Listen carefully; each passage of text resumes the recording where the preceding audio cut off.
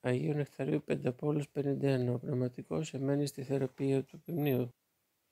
Ο πνευματικός εμένει στη θεραπεία του ποιμνίου του και αν ξέρεις ότι ανίατα αρρωστή είναι κάποιοι και τίποτα δεν κερδίζεις εσύ, μην αποκάμεις και να βοηθάς και σπούδαζε πολύ πώς να συμβουλεύεις.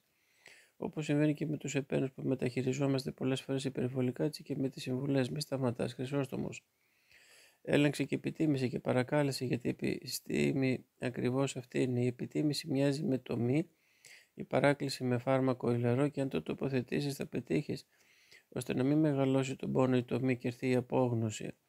Κάθε μακροθυμία και διδασκαλία κάνει και πλησίάζει γιατί έλεγχος με μακροθυμία δεν μοιάζει με ποινή σε εχθρό, αλλά τιμωρία στο παιδί σου και η μακροθυμία αποδιώχνει την απόγνωση.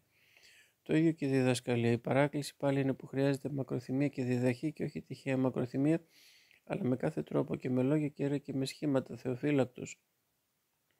Οι εκλεκτοί ονομαστοί προσφωνούνται στη θεία λειτουργία από τον ίδιο το Θεό καλούμενοι. Κανείς μην έρθει επομένως μόνος του στην ιεροσύνη αυτόκλητος και αυτόμολος και επιχειρήσει να αρπάξει αυτό που δίνεται άνωθεν, γιατί πολύ σκληρά θα τιμωρηθεί. Κυρίλου, δεν με εκλέξετε εσείς, εγώ σας εξέλεξα, Ιωάννης. Προσευχήθηκαν λέγοντας Εσύ κύριε γνωρίζεις τις καρδιές όλων των ανθρώπων και γι' αυτό ανάδειξε ένα που θα διαλέξει από τους δυο για να λάβει τη θέση του παραβάτη Ιούδα τον κλήρο της διακονίας σου και αποστολής.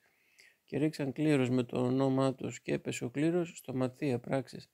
Θέλεις πολύ να γίνεις επίσκοπος, κοίτα τους κόπους και σκέψου καλά αν θα αντέξεις.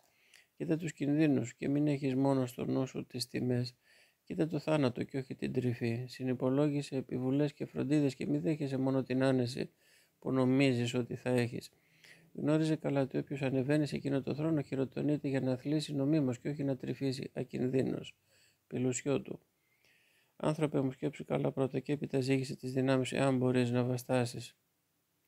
Με ορθόδοξο φρόνημα δεν μοιαίνει στα χέρια σου με ομόφυλο αίμα και δεν ανοίγει τάφο σωματικά και εν είδω να πέφτει γίνεσαι ένοχος κάποιε πράξει άλλης και δεν επιστρέφεις στη μετάνοια ούτε αδίστακτα πληροφορεί του αδέκαστους δικαστές και καθαρίζεις από μολυσμό. Εάν όμως όλα αυτά τα κατορθώσεις και άλλες αρετές εάν κατορθώσεις ακόμα και τότε πάλι δεν είσαι άξιος ιερέας φώτιος.